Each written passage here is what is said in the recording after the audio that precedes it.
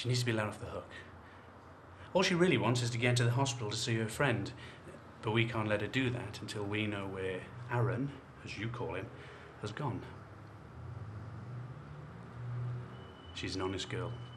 She's straight out of university. She doesn't need a criminal record now, does she? I mean, there's a lot of countries in the world that she wouldn't be able to travel to ever again. And that's not good for journalists now, is it? Freedom to travel wherever one needs to. That's a prerequisite, I would have thought. So why don't you do her a favour? Tell us where to find him.